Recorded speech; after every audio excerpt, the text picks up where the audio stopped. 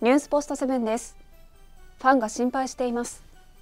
離婚したことを報告したスピードの島袋寛子さんと早乙女ゆきさん。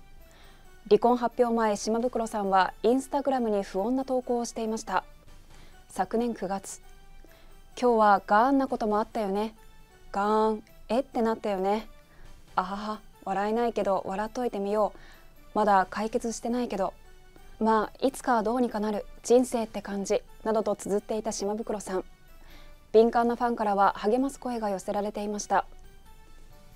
ニュースポストセブン。